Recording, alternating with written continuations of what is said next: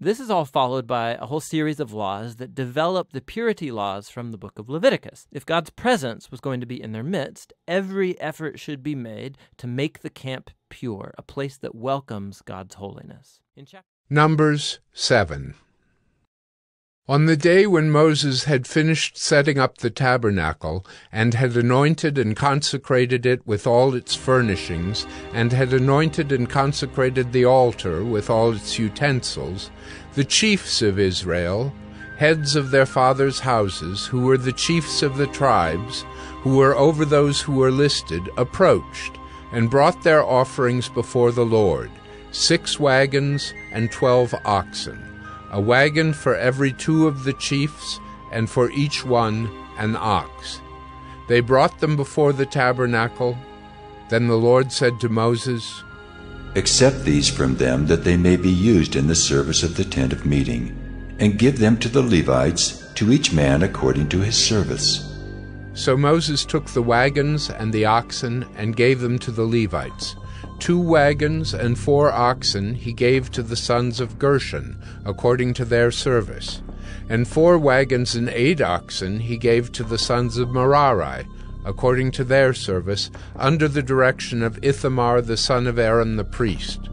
But to the sons of Kohath he gave none, because they were charged with the service of the holy things that had to be carried on the shoulder and the chiefs offered offerings for the dedication of the altar on the day it was anointed. And the chiefs offered their offering before the altar. And the Lord said to Moses, They shall offer their offerings, one chief each day, for the dedication of the altar. He who offered his offering the first day was Nahshon, the son of Amminadab, of the tribe of Judah.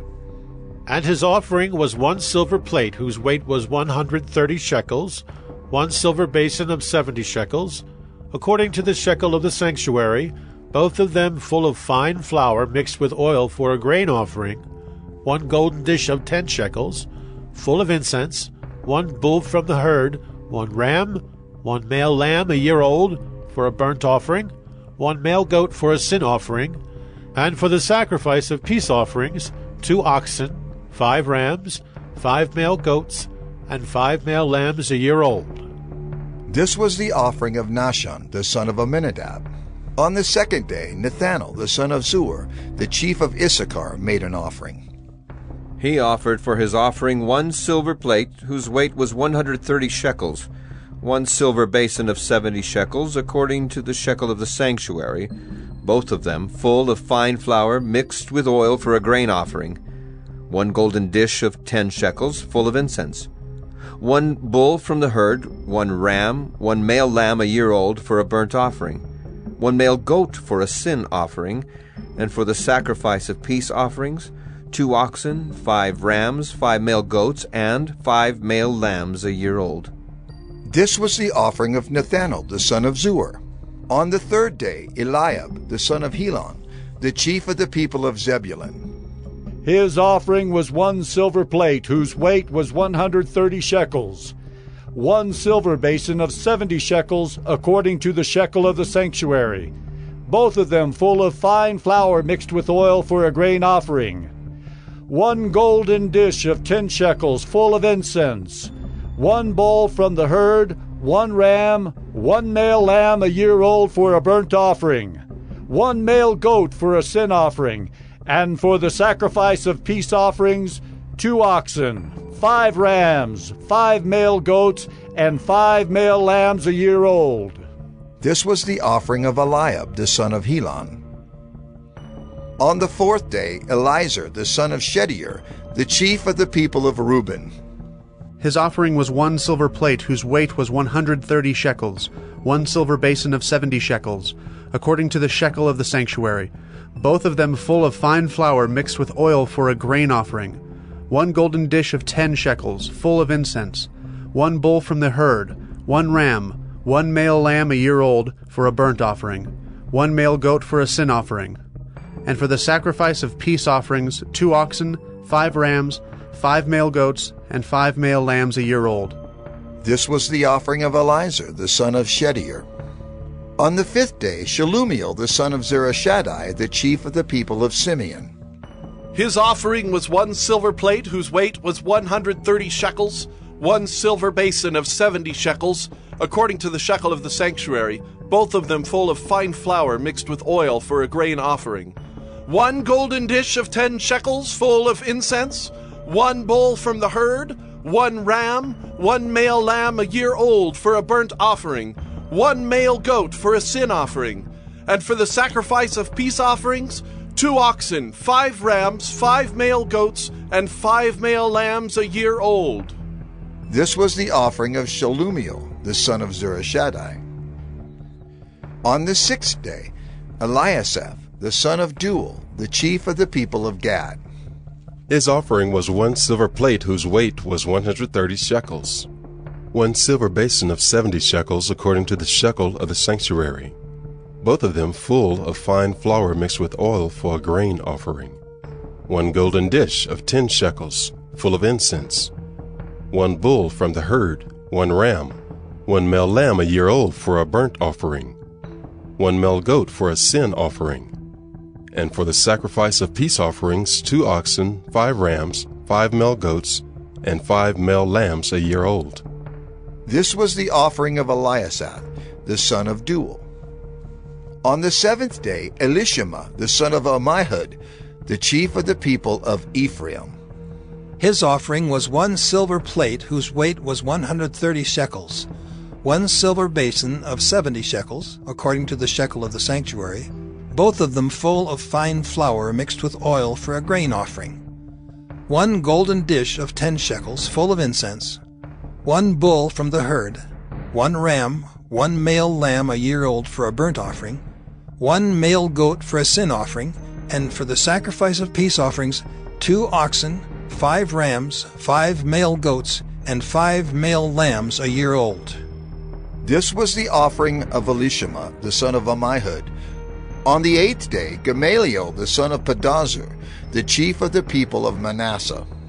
His offering was one silver plate, whose weight was 130 shekels, one silver basin of 70 shekels, according to the shekel of the sanctuary, both of them full of fine flour mixed with oil for a grain offering, one golden dish of 10 shekels full of incense, one bull from the herd, one ram, one male lamb a year old for a burnt offering, one male goat for a sin offering, and for the sacrifice of peace offerings, two oxen, five rams, five male goats, and five male lambs a year old.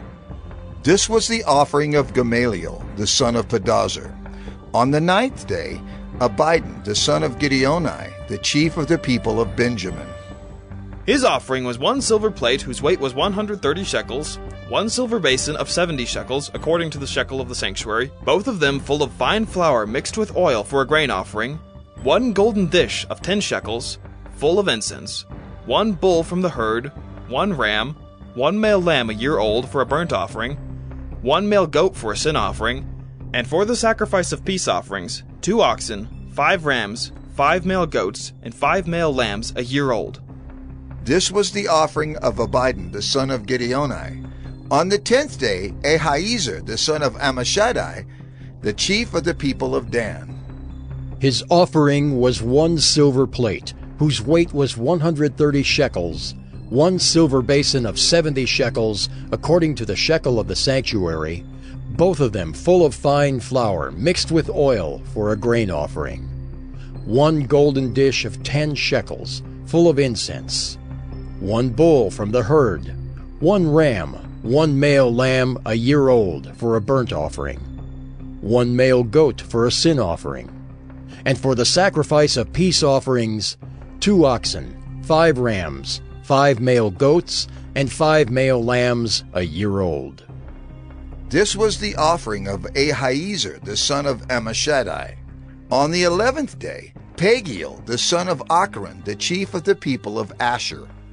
His offering was one silver plate, whose weight was 130 shekels, one silver basin of 70 shekels, according to the shekel of the sanctuary, both of them full of fine flour mixed with oil for a grain offering, one golden dish of ten shekels, full of incense, one bull from the herd, one ram, one male lamb a year old for a burnt offering, one male goat for a sin offering, and for the sacrifice of peace offerings, two oxen, five rams, five male goats, and five male lambs a year old.